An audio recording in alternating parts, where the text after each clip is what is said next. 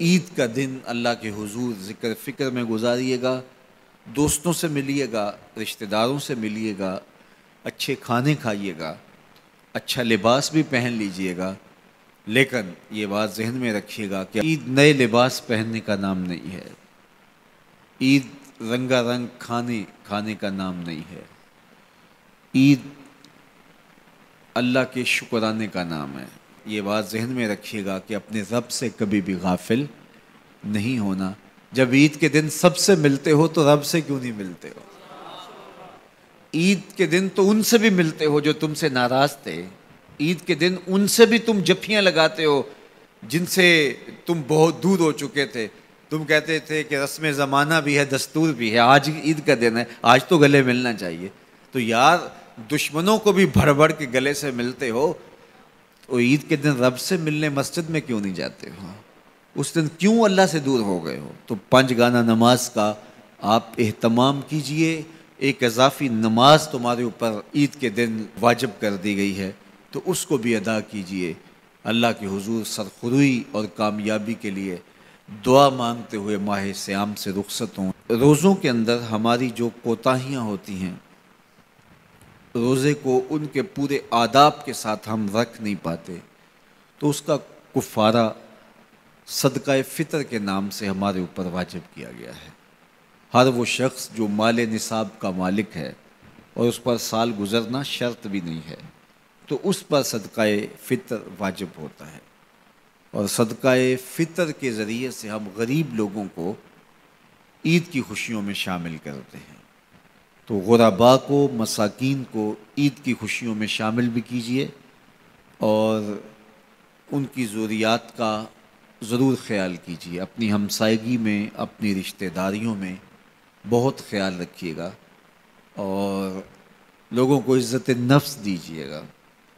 لوگوں کی ضروریات کا خیال رکھیے گا اور اپنے بچوں کو بھی اس بات کی تلقین کیجیے گا کہ وہ عید کے موقع پر اپنے دوستوں کو، بچیاں اپنی سہیلیوں کو ان کا پورا پورا خیال رکھیں اور ان کی عزت نفس کا بھی خیال رکھیں۔ یہ بچپن کے اندر ہی بچوں کو جو اپنی انفرادیت جتلانے کا مزاج پیدا ہو جاتا ہے اور یہ ساری زندگی ختم نہیں ہوتا۔ اور یہ عمومی طور پہ یہ وہ مواقع ہوتے ہیں جن مواقع پہ یہ احساس ان کا جو ہے وہ اجاگر ہوتا ہے پھر بڑھتا بڑھتا ایک مرض بن جاتا ہے۔ اس لیے بچوں کو بچپن کے اندر ہی دوسروں کا احساس سکھائیے، نہ کہ ان کے اندر احساس تفاخر پیدا ہو۔ اعتدال کے ساتھ ان کی ضروریات کو پورا کیجیے، لیکن آپ کا جو اطراف ہے، گرد و پیش کا ماحول ہے، اس کا بھی پورا پورا خیال رکھا جائے کہ بچے احساس برتری میں مبتلا نہ ہو جائیں اور ایسی امراض ان کے اندر پیدا نہ ہو جائیں۔ بلکہ بچوں کو راہ خدا میں خرچ کرنے کی ترغیب دیجیے بچوں کو جب آپ سکول جاتے ہوئے خرچی دیتے ہیں یا ایسے مواقع پر تو ان کو ساتھ یہ بھی کہہ دیجیے کہ آپ اپنی ہم جولیوں کا اور اپنے دوستوں کا ضرور خیال رکھنا ہے اور ان کو ان خوشیوں میں ساتھ شامل کرنا ہے۔ ان کو دینے کی عادت پڑے بچپن کے اندر اور جو بچپن میں دینا شروع کر دیتے ہیں، وہ بڑھاپے تک بانٹتے رہتے ہیں۔ اور جو بانٹتا رہتا ہے، اللہ اس کو کمی نہیں آنے دیتا۔ تو یہ مزاج اچھی طرح سے راسخ ہو، بچوں کے اندر پختہ ہو۔ تو یہ عید نئے کپڑے پہننے کا نام نہیں ہے۔ عید جو ہے، وہ اللہ سے ڈرنے کا نام ہے۔ حضرت سیدنا فاروق اعظم رضی اللہ تعالیٰ عنہ عید کے دن رو رہے تھے تو کسی نے کہا کہ، عمر عید کے دن رو رہے ہو؟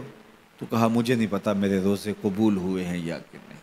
میں مقبولین میں سے ہوں یا مترودین میں سے؟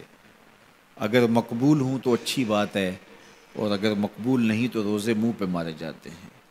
تو اس لیے عید کا موقع ہمارے لیے ایک بہت بڑا امتحان بھی ہے، اور عید کا موقع ایک اعتبار سے بہت بڑی خوشی بھی ہے کہ اللہ تعالیٰ نے ہمیں توفیق نصیب کی۔ کہ ہمیں انتیس یا تیس روزے نصیب کیے، روزے تیس ہوں یا انتیس ہوں، یہ بات ذہن میں رکھیں، اللہ ثواب پورے تیس کا عطا کرتا ہے۔ جو پاکستان میں اس وقت چاند کی صورت حال ہے تو غالب امکان یہی ہے کہ آج آخری روزہ ہوگا اور کل عید ہوگی۔ لیکن یہ رویت حلال کمیٹی کے اعلان پر منحصر ہے۔ اگر ان کو شرع شہادتیں مل جاتی ہیں اور وہ اعلان کرتے ہیں تو کل عید ہوگی، اگر نہیں اعلان کرتے تو پرسوں عید ہوگی۔ چونکہ یہاں تو شریعت نے ہمیں جو کہا ہے وہ یہی ہے کہ روزہ چاند کو دیکھ کے رکھو اور روزہ چاند کو دیکھ کے افطار کرو۔ تو چاند کی رویت جب ہوگی تو ہم روزہ رکھیں گے، چاند کی رویت ہوگی تو ہم عید کریں گے۔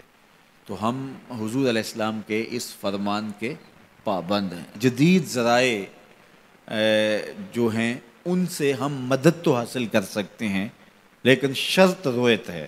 تو رویت سے ہی عید ثابت ہوگی رویت سے ہی روزہ ثابت ہوگا۔